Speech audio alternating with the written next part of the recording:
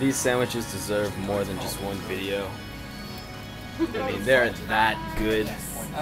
Just just look at the precision that is being made with the grating pepper, the toasting of the panini, croissant, baguette, roll, sliced bread. They grow their own basil, casing of bread, fresh fruits and vegetables, bacon. Jerry, look at this. Oh yeah, it's pretty amazing. Yeah, that's good. That's right. All right. The Ottomans would not know the greatness of these. So, so, so Katie and me